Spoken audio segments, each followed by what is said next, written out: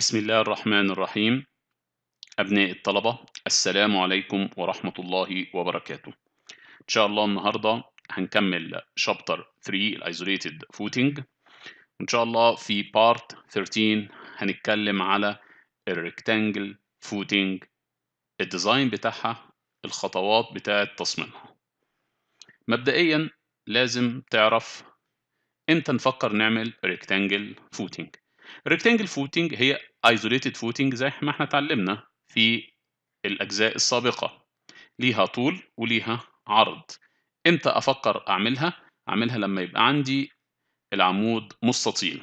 عمود مستطيل يبقى أبتدي أفكر إن أنا أعمل rectangle footing لكن ده مش شرط. بمعنى إن أنا لو عندي ممكن يبقى في عندي square footing والعمود بتاعي rectangle أو العكس. يعني عندي عمود square لكن القاعدة بتاعتي rectangle حسب ظروف الموقع بتاعي.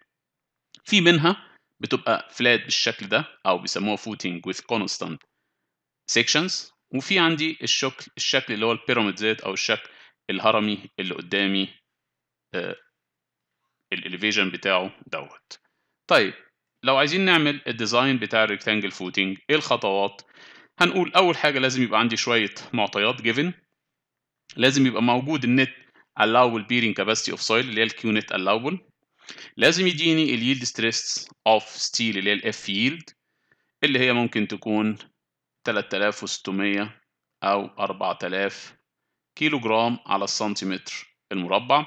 وال characteristic compressive strength of the concrete اللي هي F cu ممكن تكون 250 300 350 and so on كيلو جرام على السنتيمتر مربع. ومديني حمل العمود ال P column ومقاسات العمود المستطيل اللي هي b column في L column ومديني سمك الخرسانة العادية بتاعتي. طيب إيه بقى الخطوات بتاعة التصميم؟ الخطوة الأولانية زي ما اتعلمنا في ال square footing هنجيب ال loads ال loads هنجيب ال P working اللي هي ال P column زي ما هي وال P ultimate بواحد ونص في ال P working أو لو هو مديني ال P dead ومديني ال P live يبقى واحد وأربعة من عشرة في ال P dead زائد واحد وستة من عشرة في ال P live. الخطوة التانية عايز أجيب ال dimensions ال dimensions بتاعتي أنا عايز أعرف ال B بتاعت ال RC وال L بتاعت ال RC وال B بتاعت ال PC وال B بتاعت ال PC L بتاعت ال PC طيب أول حالة لو كان عندي t PC أقل من 20 سنتي فبنقول إن ال area بتاعت ال reinforced concrete P working على ال q net الأول تطلع لي ال area.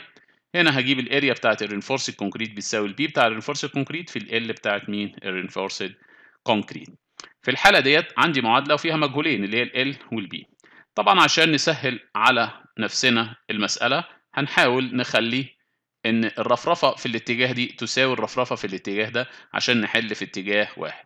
طب الرفرفة دي اللي هي عبارة عن إيه؟ اللي هي عبارة عن ال B بتاعت ال RC ناقص ال B column على 2 ودي ال أو ال بتاعت الرينفورسد كونكريت ناقص ال كولوم على 2 وهنا المسافة دي قد إيه؟ ال B بتاعت ال reinforced concrete ناقص ال B column على 2 يعني ال L بتاع ال RC ناقص ال L column على 2 بتساوي B RC ناقص إيه؟ B column على 2 يبقى دي معادلة ثانية عندي معادلتين في مجهولين أقدر أحلهم مع بعض وأطلع ال B RC وأطلع ال L مين؟ RC طبعا لازم نقرب القيم ديت لأقرب 5 سم بالزيادة يبقى أنا طلعت ال L بتاعت ال RC وال B بتاعت ال RC عايز أجيب ال B بتاعت ال PC يبقى بتساوي ال B بتاعت ال RC زائد 2 t PC وال L بتاعت ال PC بتساوي ال L RC زائد 2 t PC يبقى أنا جبت ال dimensions بتاعتي. الكلام ده كله في حالة إن سمك الخرسانة العادية أقل من 20 سم أما لو كان سمك الخرسانة العادية أكبر من أو يساوي 20 سم زي ما اتعلمنا هيبقى الشغل بتاعي على الخرسانة العادية. يبقى الأريا بتاعتي بتاعت البلين كونكريت هي البي وركينج على الكيو نت مين الأول ال area دي بتساوي إيه؟ بتساوي ال B بتاعت ال PC في ال L بتاعت ال plain concrete نفس المشكلة عندي معادلة واحدة اهيت ومجهولين. معرفش ال B ومعرفش مين ال L طبعا يبقى هبتدي أجيب نفس المعادلة اللي إحنا قلناها بس على البلين كونكريت ال بتاعت البلين كونكريت ناقص ال كولوم بتساوي البي بتاعت البلين كونكريت ناقص البي كولوم على مين؟ على 2 يبقى أنا عندي كده في معادلتين في مجهولين. أقدر أطلع البي بتاعت البلين كونكريت والال بتاعت مين؟ البلين كونكريت عشان مقاومة الشد في الخرسانة العادية لازم نحسب بقى ال C PC واتعلمنا برضك إيه هي ال C PC لو أنت عندك دي الخرسانة العادية ودي الخرسانة المسلحه وده العمود. يبقى الحتة دي اللي إحنا بنسميها ال C PC أو الحتة دي اللي اسمها ال C PC طب أجيبها إزاي عشان أجيب المقاسات بتاعة الخرسانة العادية؟ المسلحة آسف.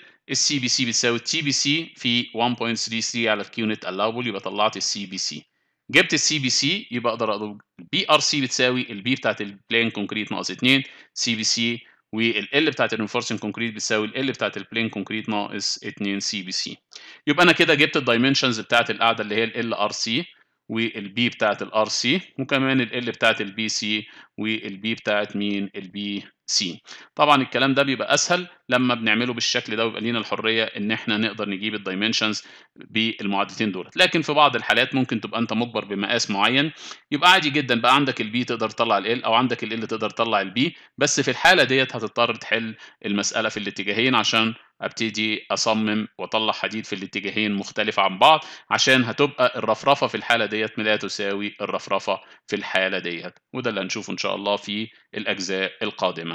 شكرا.